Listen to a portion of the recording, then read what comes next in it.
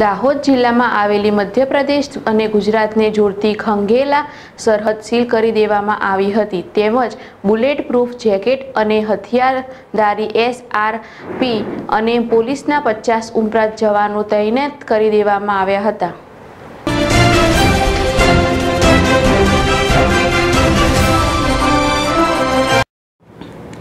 ગુજરાત રાજ્યમાં આતંકવાદી હુમલાની આશંકાને લઈને આંતરરાજ્ય સરહદો સીલ કરી દેવામાં આવી છે.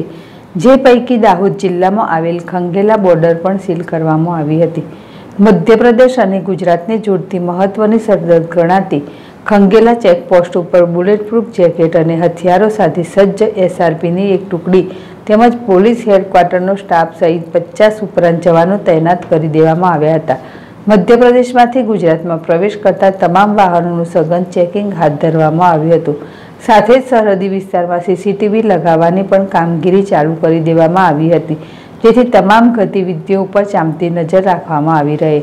ત્યારે દાહોદ શહેરના બસ સ્ટેશન વિસ્તારમાં પણ બસોની તેમજ બસોમાં મુસાફરી કરતા મુસાફરો તેમજ બસ સ્ટેશનમાં મુસાફરોના સામાનનો પણ દાહોદ પોલીસ દ્વારા સઘન કડક ચેકિંગ હાથ ધરવામાં આવી હતી.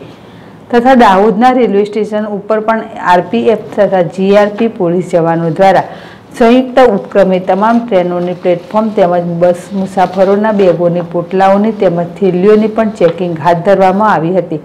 આઈબીના એલર્ટ પછી ગુજરાતના ડીજીએ પોલીસ વિભાગને ગુજરાતમાં પ્રવેશતી તમામ બોર્ડરો સીલ કરી સઘન ચેકિંગ હાથ ધરવા માટે આદેશો કરાતા ગુજરાતની તમામ બોર્ડરોને સીલ કરી દેવાઈ હતી.